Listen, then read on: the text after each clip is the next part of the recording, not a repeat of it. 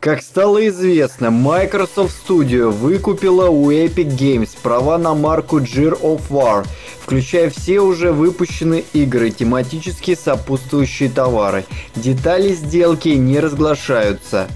Сразу же было сделано заявление о том, что началась работа над очередной частью игры – Ответственной за следующую Gear of War стала ванкуверская Black Task Studio, бывшая Microsoft Vancouver.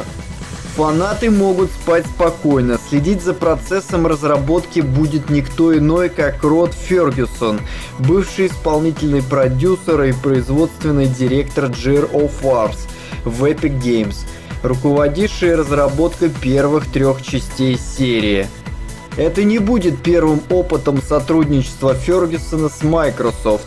Он уже работал в компании с 1996 года до 2006. Напомню, на прошлогоднем E3 Black Task Studio продемонстрировала тизер неанонсированного проекта, который, по замыслу Microsoft, должен был составить конкуренцию серии Halo.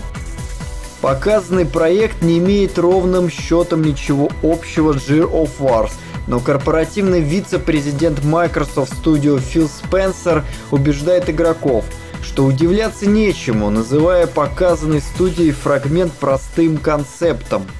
Приятным совпадением Спенсер считает и тот факт, что у Black Task Studio есть опыт работы с Unreal Engine на Xbox One – поскольку именно на этом движке было решено делать следующую часть Gear of War. А у микрофона был Дмитрий Феникс. Ты знаешь, где ставить лайк. Всем пока!